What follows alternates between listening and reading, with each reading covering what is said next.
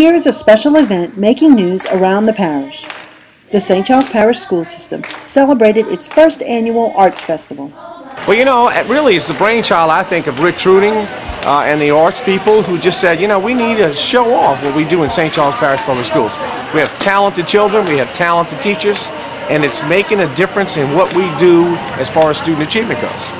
When you, when you feature the arts, when you have the arts in your schools, it's going to make a difference in what happens with kids. And I think that we needed to show that off. So many school districts out there are cutting the arts. You know, they don't. They cut the music. They cut this.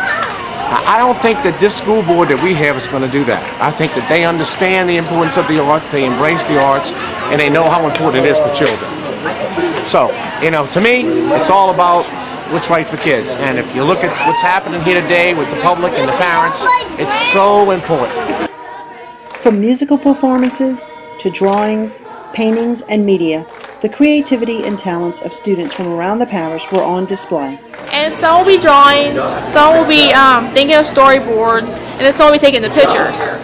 What we'll be doing is we'll be making like a storyboard basically. We're giving people a taste of it, and we're going to allow all these people, when they're finished with these animations, to have it viewed at our Satellite Center Video Animation Festival, and it'll be premiered with all the other entries uh, to our festival. We're uh, watching some other people's animated videos. So we can make one. And we're gonna make one that looks cool.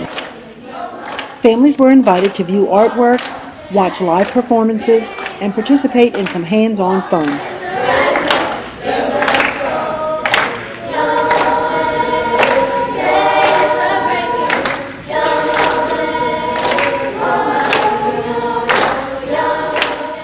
St. Charles Parish Schools plans to make this Showcase on the Arts an annual event. For more information about all the events making news around the parish, log on to the parish website.